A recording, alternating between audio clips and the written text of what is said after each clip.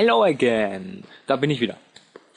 Ja, diesmal geht's darum, ob man Spiele auch ohne den RPG Maker XP starten kann. Ja, im Grunde geht das ja. Man muss nur als Spieleentwickler bestimmte Vorkehrungen treffen. Weil normalerweise geht das eben nicht. Das habt ihr ja festgestellt. Darauf, da, genau deswegen habt ihr mich auch gefragt, wie es geht und ob es geht. Und ich sage jetzt einfach mal, ja, es geht und das geht wie folgt. Zuerst geht ihr Game Open Game Folder und kopiert dort die RGSS 102E DLL hinein. Diese werde ich in die Videobeschreibung als Link packen. Download-Link, damit ihr die runterladen könnt. Oder ihr sucht euch die im Windows-Ordner raus, weil wenn man den RPG Maker installiert, ist diese im Windows-Ordner enthalten. Ähm, ich weiß jetzt nicht mehr genau wo und wie. Spielt aber auch keine Rolle an sich. Ihr könnt die einfach rauskopieren. Also ich meine runterladen bei mir. Ihr müsst jetzt nicht im Windows-Ordner suchen, wenn ihr das nicht wollt. Gut, das hätten wir auch erstmal geklärt. Dann wird aber die RTP logischerweise trotzdem noch gebraucht, wegen den Grafiken, die ganzen. Weil diese Grafik ist eine Standardgrafik. Das wissen wir. Und wenn man hier auf Game, Select RTP geht, steht ja hier RTP 1 Standard. Und wenn man hier auf Known geht, verschwinden die Grafiken. Hm, schlecht. Ja, ganz schlecht würde ich mal sagen. Ganz, ganz schlecht. Also fehlen die Grafiken. Der Spieler muss die RTP Standard installiert haben. Also die Standard RTP. Um die Grafiken zu haben und die Sounds.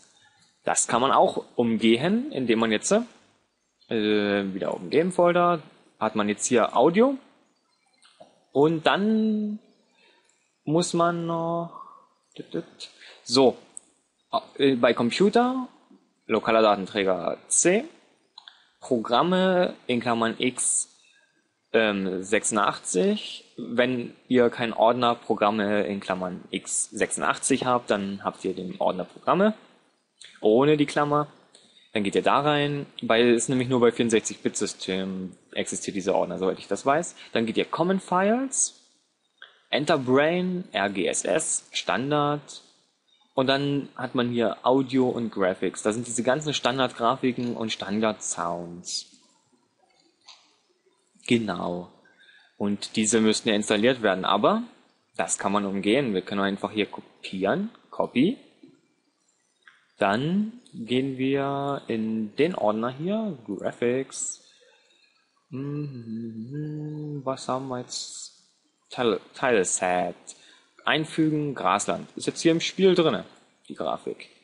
Nun gehen wir in, den, in die Material Base, xen das Ganze und schon haben wir die Grafik wieder im Spiel. Perfekt. Und das komplett ohne RTP. Hier oben fehlen jetzt noch die Auto-Titles, ähm, die muss man natürlich noch hinzufügen und so weiter und so fort, die ganzen Sounds, alles, was ihr im Spiel verwendet habt, hineinkopieren oder einfach alles. Oder einfach alles aus der RTP. Wenn ihr gar nicht mehr wisst, was ihr verwendet habt, dann einfach alles hineinkopieren. Ist ja auch nicht so groß und sonst müsstet ihr die RTP mit äh, verschicken, dann kommt ihr ja aufs Gleiche im Prinzip. Ähm, ja, dann einfach auf File, Compress Game Data. Ähm, ja klar, möchte ich speichern und dann einfach ähm, irgendwo abspeichern. Fertig. Gut, das war jetzt ein kurzes Tutorial. Ich hoffe, ihr habt es verstanden.